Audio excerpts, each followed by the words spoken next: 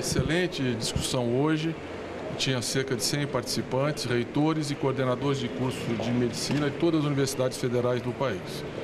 É, apresentamos em detalhe as iniciativas, principalmente o diagnóstico de que o Brasil hoje, nós temos 700 cidades no país sem nenhum médico, temos 1.900 cidades que têm menos de um médico para 3 mil habitantes, que é um índice inaceitável e que nós precisamos reverter esse quadro com urgência.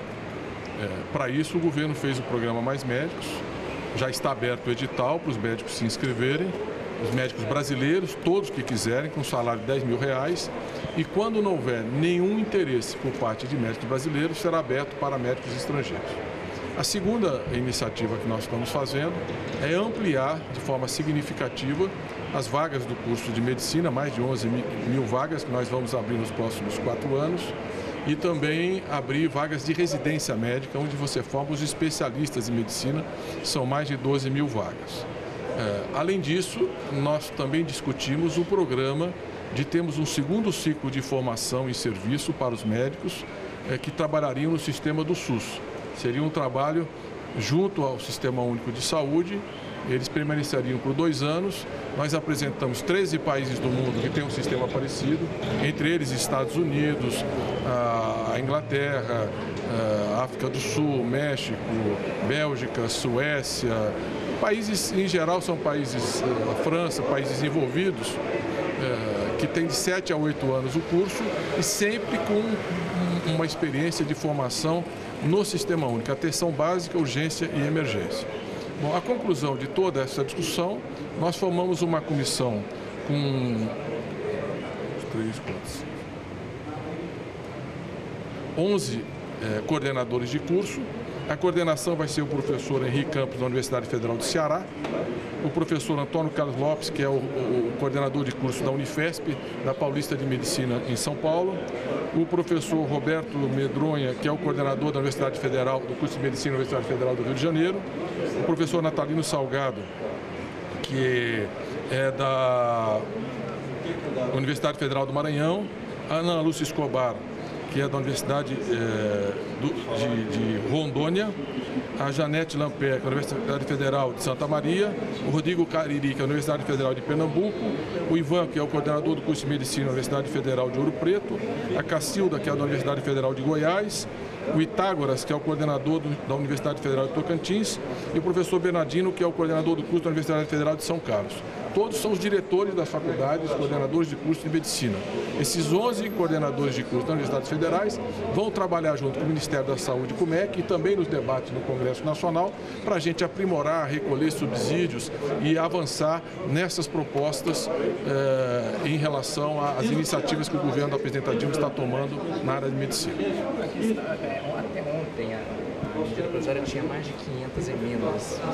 Governo Não, o volume não. Sabia se muitas devem ser repetitivas, nós já demos uma olhada preliminar. E é para isso mesmo, nós temos 120 dias para discutir, portanto tem tempo, tem calma, nós vamos discutir, aprofundar todas as propostas que visem aprimorar e melhorar a iniciativa. Está chata essa mosquinha. é, toda, todas as propostas que vierem para aprimorar a iniciativa são bem recebidas, é para isso mesmo. O Congresso, a medida provisória, ela cabe subsídios, recomendações, sugestões. Depois desses quatro meses, no caso do estágio de dois anos, é, é, que é esse segundo ciclo de formação dos médicos, nós temos 18, é, 180 dias para tramitar no Conselho Nacional de Educação. E essa proposta, para ser implantada, só vale para os cursos de medicina a partir de 2015. Então só será implantado em 2021. Nós temos sete anos para amadurecer a implantação. Inclusive eu queria esclarecer alguns pontos, nós fizemos aqui. É, por exemplo, no FIES, que é aquele financiamento que nós fazemos para a área de medicina, nós temos 24 mil inscritos. Programa de financiamento. No FIES, que é para aluno pobre, ele, para pagar o financiamento, fica oito anos trabalhando no SUS. Incrível porque não teve nenhum questionamento, nenhuma reclamação. E temos 24 mil inscritos.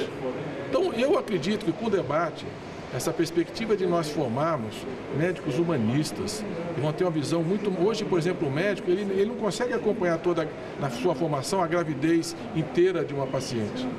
Porque ele só tem uma visão fragmentada, porque ele tem pouca vivência na atenção básica, na urgência e emergência. Então nós estamos trabalhando fortemente para garantir essa qualidade da formação, essa visão humanista, como diz o professor Adib Jatene, formar médico especialista do ser humano.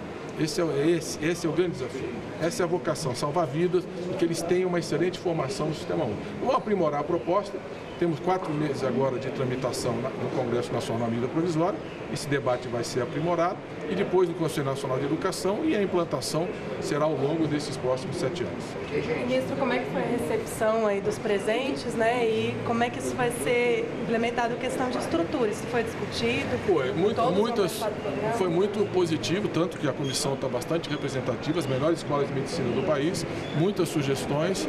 É um, é um público que tem familiaridade com, a, com esse debate da formação médica.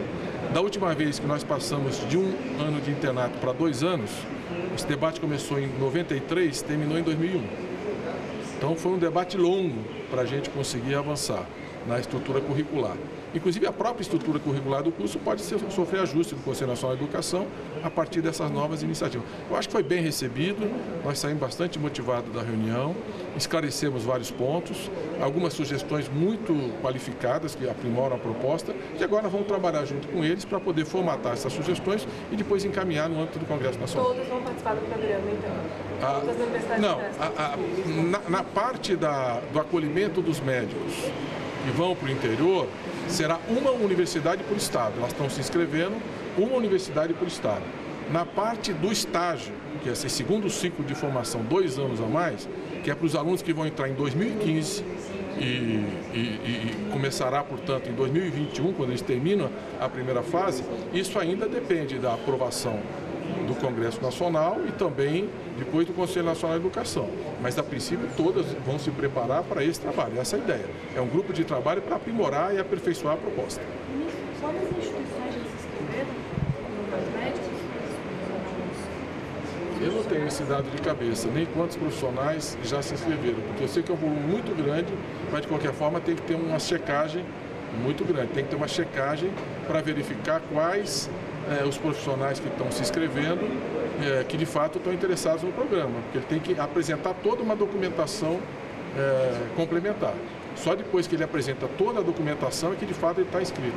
Não basta simplesmente a intenção de escrever. Então está sendo feita essa avaliação. Ele tem que, ele tem que entregar hum, todas as informações que são necessárias. Então ainda é um processo em andamento. Mas está em torno de, eu só não saberia dizer Eu não tenho, não tenho de cabeça. Essa... Não, não, é, pode, pode falar. É, em relação às sugestões, o senhor pode exemplificar, por exemplo, duas que eles fizeram, o senhor vai analisar? Não, é muito em cima de experiências internacionais, é, esse tema de como é que esse período pode ser incorporado para a residência, isso é uma, é uma discussão bastante eh, forte e recorrente, que é um dos temas importantes. É, na, na, na, os preceptores, que são os profissionais do SUS, que vão acompanhar a formação dos, estudantes, é, como é que esse, esse trabalho seria feito, quais são as preceptorias, o trabalho de tutoria das universidades, supervisão, porque os estudantes vão continuar tendo supervisão acadêmica, eles vão se formar no exercício da medicina, ele recebe uma bolsa, mas além da, da, da supervisão acadêmica, ele tem a formação no SUS. Então, como é que você combina essas, esses, esses dois, essas duas instâncias? Então, tem várias sugestões que foram feitas aí para a gente aprimorar. E também a preocupação em relação à infraestrutura, né, que está sempre recorrente. No caso do estágio de dois anos, nós temos sete anos para melhorar a infraestrutura. No caso dos médicos que vão para o interior agora, a, a preocupação de garantir uma infraestrutura adequada para que a gente possa ter uma boa experiência com essa ampliação da oferta de médicos. Como é que já estuda salvar alguns recursos para isso? Já tem já Não, assim que o governo apresentou a proposta, evidentemente, isso pressupõe recursos orçamentários que vão. Quanto, ah, não, aí depende do. A parte dos médicos é com o Ministério da Saúde. A nossa parte, os custos, é, a, a, nossa parte são só os, os, os, a, a supervisão que as universidades vão fazer para os médicos que vão trabalhar no interior. Então tem uma bolsa de estudo para os médicos que vão fazer a supervisão, tem um processo de seleção e esses recursos estão todos já hospitais previstos. Os hospitais universitários dão apoio aonde há é, demanda dessa forma. Nós temos 49, 46 é, hospitais universitários, nem todos os municípios que nós vamos cobrir têm hospitais. no interior da Amazônia, no interior do Nordeste, não tem hospital nem médico. Nós estamos levando o médico, às vezes tem uma unidade básica de saúde, às vezes tem uma universidade de pronto atendimento, mas não tem médico. Especialmente para algumas especialidades, como pediatria, anestesia, clínica médica, há uma grande deficiência, ginecologia, há uma grande deficiência de profissionais. Nós estamos aumentando essa presença dos médicos. Ok, gente, tá bom? A última Oi?